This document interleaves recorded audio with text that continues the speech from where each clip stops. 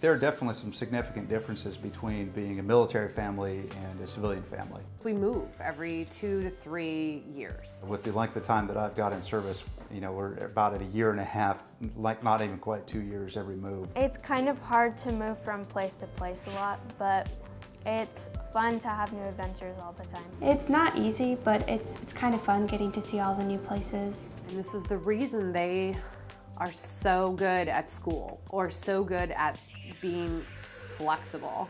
I get to meet a lot of new friends and new people um, that grew up in different environments, and so I think that's pretty important. It's really made them really aware of that giving back aspect, and it's about that public service in a different fashion. Regardless of what it is, where we're at, what we're doing, family is always at the forefront.